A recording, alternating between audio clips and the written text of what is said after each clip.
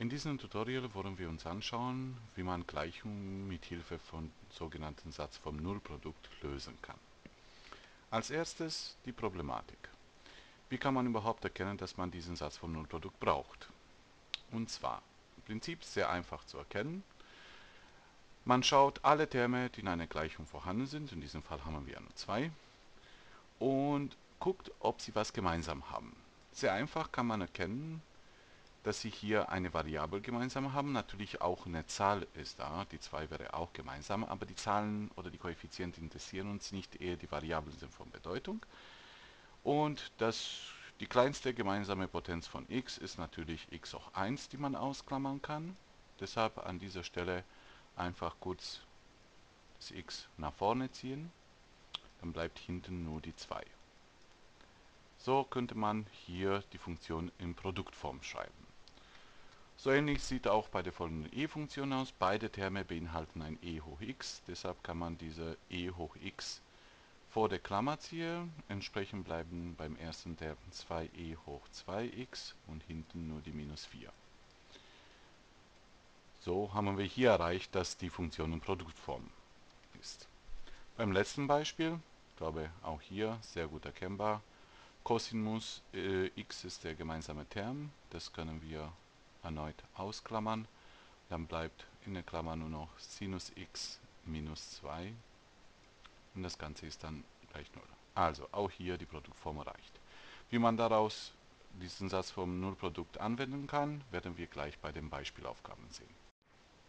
Wir fangen mit einem sehr einfaches Beispiel. Wie gesagt, am Anfang sollte man immer schauen, was die vorhandenen Terme gemeinsam haben.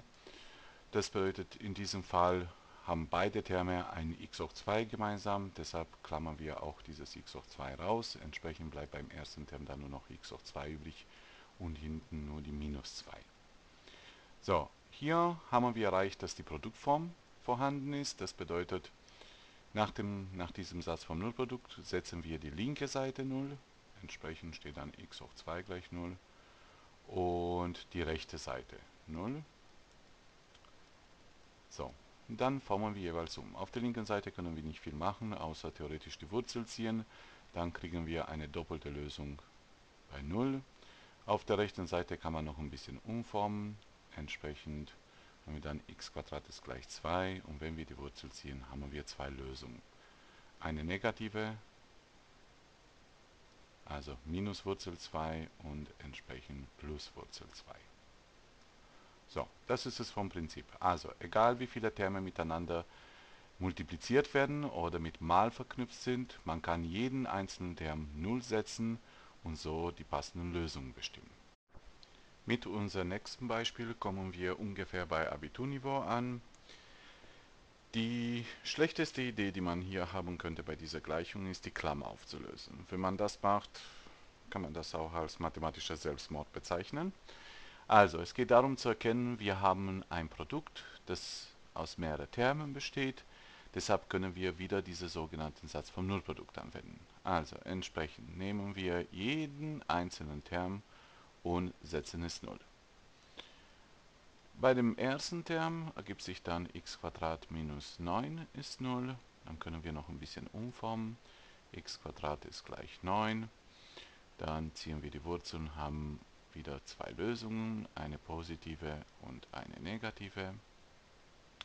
Bei zweiten Term haben wir e hoch x minus 1 ist 0.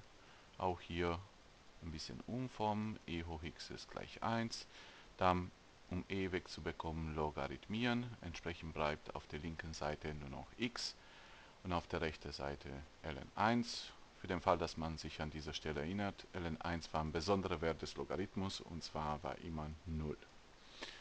Und die dritte Möglichkeit, und das ist auch automatisch die letzte Lösung, das ist in diesem Fall die vierte, x4 ist gleich 0. Also insgesamt hat diese Gleichung vier Lösungen.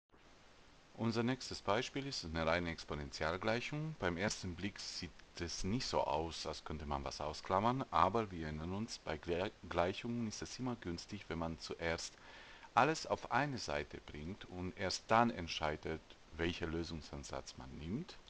In diesem Fall, wenn ich die 2e hoch x mit Minus rüberbringe, dann ist es deutlich und leicht erkennbar, dass man hier e hoch x ausklammern kann.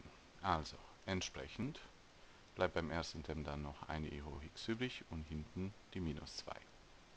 Jetzt haben wir wieder unsere Produktform, deshalb können wir wieder jeden einzelnen Term 0 setzen. Erste Möglichkeit wäre e hoch x gleich 0.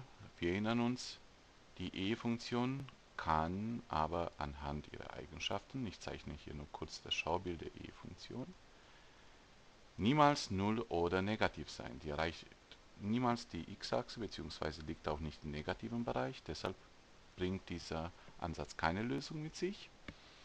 Die zweite Möglichkeit lautet e hoch x minus 2 ist 0.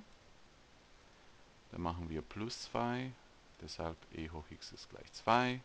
Entsprechend logarithmieren x ist gleich ln2. Das ist dann unsere einzige Lösung.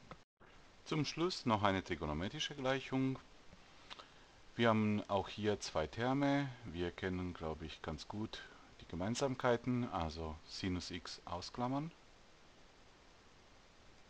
Entsprechend bleibt dann in der Klammer nur noch Cosinus x minus 2, Klammer zu, gleich 0. Anhand dieser Produktform kann wieder der erste Term 0 sein, also Sinus von x kann 0 sein, oder die rechte Seite, Cosinus von x minus 2 kann 0 sein.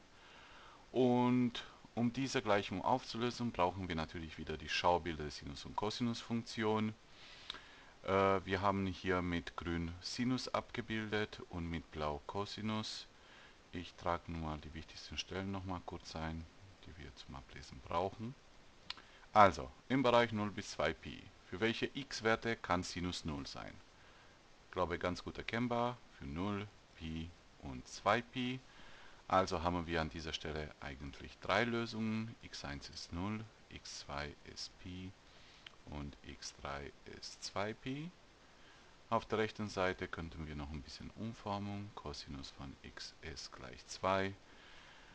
Aber wir kennen Sinus und Cosinus gehen nach oben bis, bis maximal 1, also 2, der Wert 2 wird niemals erreicht. Ist außerhalb des Wertebereichs, deshalb gibt es keine weitere Lösung. Wie gewohnt am Ende noch ein paar wichtige Hinweise bezüglich dieser Gleichungen. Als erstes, wenn Brüche vorhanden sind, dann immer verschwinden lassen, das bedeutet mit dem Hauptnenner durchmultiplizieren. Dann zuerst mit dem richtigen Blick erkennen, ob Terme was gemeinsam haben, kurz gesagt, ob überhaupt Ausklammern bzw. Satz vom Nullprodukt in Frage kommt. Für die trigonometrischen Gleichungen heißt es wieder Schaubilder auswendig lernen, sonst kann man den Teil ohne Taschenrechner keine Lösungen bestimmen. Und nicht vergessen, dieser Satz vom Nullprodukt ist das meistbenutzte Ansatz zur Lösung von Gleichungen. Deshalb sollte das einer der ersten Gedanken sein, die ihr habt, wenn ihr eine Gleichung lösen wollt.